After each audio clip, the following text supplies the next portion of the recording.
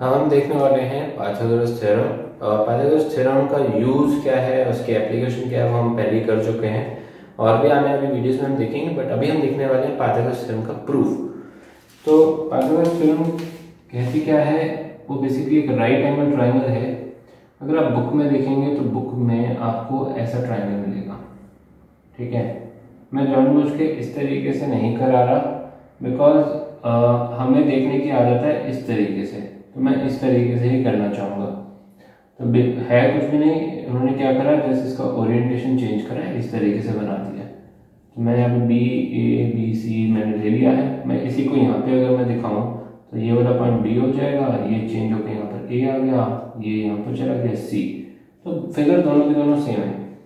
अब हमें प्रूव करना है, पहले हम गिवन लिख देते हैं गिवन और टू प्रूव तो गिवन हो गया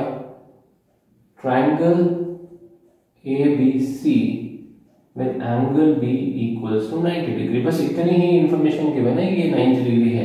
तो हमें टू प्रूफ क्या करना है? टू प्रूफ करना है A C square is equals to A B square plus B C square तो ये हमें पाइथागोरस थ्योरम प्रूव करनी है। Hypotenuse square equals to base square plus perpendicular square तो ये हमें थ्योरम प्रूव करनी है। इसके लिए हमें एक थ्योरम है 6.7 6.7 एनसीईआरटी बुक में अगर आप देखेंगे तो इसको 6.7 नाम से थ्योरम फ़ेमस है ये तो वो हमें पहले समझ में आनी चाहिए। 6.7 थ्योरम है क्या? 6.7 थ्योरम है अगर आप ये 90 डिग्री वाला जो वर्टेक्स है, ये पॉइंट बी वहाँ से अगर परपेंडिकुलर बनाए तो हम ई e मार्क कर देते हैं इसको। तो ये जो दो ट्रायंगल हैं, वो बड़े बड़े ट्रायंगल से सिमिलर होते हैं। अब वो कैसे होते हैं, मैंने इसको एक एक्टिविटी से भी करके दिखा रखा है। उसका लिंक आपको डिस्क्रिप्शन बॉक्स में या कार्ट में या फिर प्ले लिस्ट में मिल जाएगा। अब वहाँ से देख सकते हैं। मैं इसको जल्दी से समझा रहा हूँ। इसको समझने की कोशिश करते हैं। अगर हम ये वाला ट्राइंगल लें 90 डिग्री तो कौन सा? बी ई सी ठीक है? और अगर बड़ा बड़ा ट्राइंगल देखें, ये बड़ा वाला ए बी सी मैं इसको फिर दोबारा बना देता हूँ आपकी हेल्प के लिए। सी ए बी ये 90 डिग्री तो देखो, एक तो चीज़ मिल गई एंगल ई एंगल बी ठीक है angle E angle B 90 degree मिल गए दूसरी चीज़, अगर आप ध्यान से देखें, ये जो एंगल सी है और ये वाला जो एंगल सी है, वो इक्वल हुए नहीं हुए। दोनों सेम ही तो ट्राइंगल से आए हैं। यहीं से तो कट के बना है ये वाला। तो angle C angle C equal हो गया ना। तो इसलिए ये दोनों के दोनों ट्राइंगल क्या हो गए?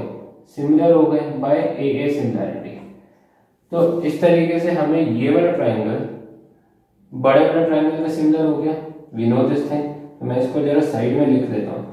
तो कैसे लिखेंगे? C E B C E B similar to triangle देखो सी सी कॉमन हो गया। जरा समझने की कोशिश करना। सी सी कॉमन हो गया। और कौन सा चीज़ हमारी इक्वल थी? ई e और बी इक्वल था ना? यहाँ पे ई e है। और हमारे बड़े ट्राइंगल में बी तो यहाँ पर आ जाएगा ए सी बी ए समझे यहाँ पर? सी सी एंगल 90 और B C C common angle 90 is B then A तो ये हमारी पहली चीज़ हो गई। क्योंकि अभी इसका यूज़ होगा तो मैं बार बार नहीं करूँगा इसलिए अब हम ये वाला ट्राइंगल देख लेते हैं। मैं इसको रेड कलर से कर देता हूँ। मैं रेड वाला देख लेता हूँ। कैसे लिखेंगे similar triangle A E B A E B देखो मैं कैसे देख रहा हूँ, वो बहुत इंपॉर्टेंट है। देखो ए कॉमन था कॉमन है। ई e कौन सा था? 90 डिग्री था। हमारे बड़े बड़े ट्राइंगल में 90 कहाँ है? बी और बच्चा कौन सा? सी तो यहाँ पर ये एक चीज़ इंपॉर्टेंट हो गई और एक ये इंपॉर्टेंट हो गई। हम इसका यूज़ करेंगे अभी। तो इसके अंदर भी हमें क्या करना है? इस वाले ट्रायंगल में इसकी फिगर है ये। ये जो मैंने समझाया है, वो थ्योरम 6.7 समझाई है अभी, थोड़ी बहुत। हम यहाँ पे कंस्ट्रक्शन कर देंगे। तो मैंने कंस्ट्रक्शन कर दी, मैं ई e ही ले लेता हूँ वहाँ पर। तो construction draw BE perpendicular to A C ठीक है, मैंने इसके परपेंडिकुलर बना दिया। तो अब ये वाला ट्राइंगल आ गया हमारे पास। आइए चलते हैं इसके प्रूफ की तरफ़। प्रूफ में हमने क्या करेंगे? पहले ये वाला ट्राइंगल लेंगे। ट्राइंगल क्या लिखेंगे? ए ई बी हमेशा कॉर्नर से स्टार्ट करेंगे। A E B is similar to A B C A B C by theorem 6.7 ठीक है? ये थ्योरम ऐसे 6.7 पूरी लिखे तो बहुत अच्छी बात होगी। इतना भी लिखने तो चल जाएगा। अब हमें पता है कि जब दो ट्राइंगल सिमिलर होते हैं तो उनकी साइड्स क्या होती है प्रोपोर्शनेट कैसे लिखेंगे A E upon A B equals to E B upon B C A B upon A C ठीक है? एक एक करके करा हमने। A B A E A B E B B C पहला और आखिरी ए बी पहला और आखिरी ए सी क्या लिख देंगे? By C P S T corresponding part of similar triangles ठीक है? अब सिमिलरली हम दूसरे ट्राइंगल का भी करेंगे? ये वाले का तो इसको हम वन डाल देते हैं या फिर हम इसमें से पहले कुछ इन्फॉर्मेशन निकाल लेते हैं। मैं चाहता क्या हूँ इसमें? यहाँ पर अगर आप ध्यान से देखें तो ये मुझे चाहिए यहाँ पे स्क्वायर स्क्वायर तब आता है। स्क्वायर का मतलब तो जब सेम नंबर खुद से मल्टीप्लाई हो। मतलब a into A A square होता है। तो उसी तरीके से मुझे अगर यहाँ पे ए सी स्क्वायर चाहिए तो मुझे क्या चाहिए होगा? ए C into A C A C square तो मुझे कुछ ऐसा चाहिए जहाँ पर मेरे को सेम चीज़ मिल जाए। इन तीन में से अगर आप ध्यान से देखें A B A B same है। तो मैं इन दोनों को क्या करूँगा? क्रॉस मल्टीप्लाई कर दूँगा। ए बी उधर गया।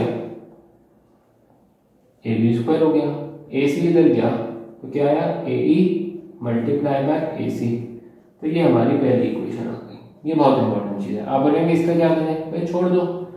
तीनों इक्वल है ना, मैं कोई भी दो ले सकता हूँ ना। तीनों इक्वल की ज़रूरत थोड़ी ना मुझे। कोई दो लिए, मैंने क्रॉस मल्टीप्लाई कराया, आ गया। अब मैं लूँगा इन ट्राइंगल कौन सा? ये वाला। देखो कॉर्नर से स्टार्ट कर रहा हूँ मैं। सी बी ना, पहले नाइनटी लूँगा मैं। C E B similar to triangle बड़ा वाला। सी बी ए ठीक है? बार बार वीडियोस रिपीट करके देखें बैक जाके देखें, समझ में आ जाएगा कैसे लिया मैं बाय थ्योरम 6.7 ठीक है? अब इसमें भी ऐसे ही लिख दूँगा मैं। आप बताओ क्या होगा? C E upon C B E B upon B A C B upon C A कौन C theorem by C P S T okay तो देख रहे हैं कितना इंपॉर्टेंट है ये प्रूफ ये प्रूफ हम यहाँ पर करते नहीं, इसलिए क्योंकि हम इसको थ्योरम ले लेते हैं। अगर ये थ्योरम नहीं लिखोगे तो आपको ये प्रूफ भी यहाँ पर दिखाना पड़ेगा। अब मैं इसमें से बताऊँ कौन सा लूँ? देखो सी बी सी बी मिल रहा नहीं मिल रहा? आप पेंसिल से हाईलाइट कर लेना इसको। सी बी सी बी मिल रहा है तो क्रॉस मल्टीप्लाई कर देता हूँ। सी बी उधर गया सी बी स्क्वायर हो गया, और ये इधर आया। सी ई मल्टीप्लाई बाय सी ए तो ये मुझे मिल गई दूसरी इक्वेशन अब प्रूफ देखो प्रूफ बहुत इंपॉर्टेंट है, जहाँ पहुँचना है। मुझे ए बी स्क्वायर चाहिए था, मिल गया। सी बी स्क्वायर चाहिए था, मिल गया। आप बोलेंगे सी बी और ए बी सेम है क्या? यस सी बी लिखो या बी सी लिखो, बात एक ही है। ये सेम है। अब मुझे यहाँ पे क्या चाहिए? प्लस करना है। देख रहे हैं, यहाँ पे पता चल रहा है, मुझे ऐड करना है तो। Adding one and two adding one and two add करेंगे अब ऐड कैसे करते हैं इक्वेशन को? ये इक्वल्स टू का निशान है ना? तो इक्वल्स टू के left hand side left hand side से ऐड होती है right hand side right hand side से ऐड होती है। तभी मैंने क्या करा था? स्क्वायर वाले को एक ही साइड रखा और बिना स्क्वायर वाले को एक साइड रखा। तो ये प्रैक्टिस करने से आता है। आप बोलेंगे सर आपको कैसे पता, देखो क्वेश्चन की प्रैक्टिस करते हैं ना तो समझ में आता है। बहुत सारे क्वेश्चन करने से आता है। तो हमने ऐड कर देते हैं ये इक्वल ये left side A E multiply by A C plus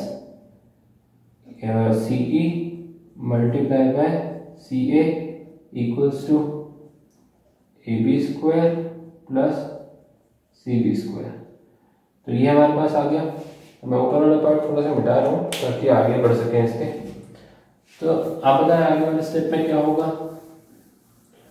आगे वाले स्टेप में अगर आप लेफ़्ट साइड पे देखिए ए सी और सी ए मतलब बात एक ही है। वो कॉमन आ जाएगा। तो मैं ए सी कॉमन ले लेता हूँ। तो क्या बचेगा वहाँ पर? पहले वाले में क्या बचा? ए ई ए ई बचा। प्लस यहाँ पे क्या बचा? सी ई बचा।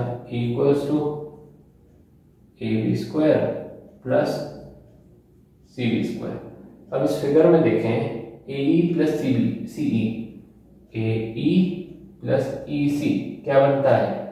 पूरा ए सी बनता है। So A C into A C equals to A B square plus C B square A C into A C A C square equal to A B square plus C B square hence proved तो दो चीज़ें हैं। Proof इसका बहुत important है। Exam के point of view से बहुत बार ये क्वेश्चन पूछा जाता है।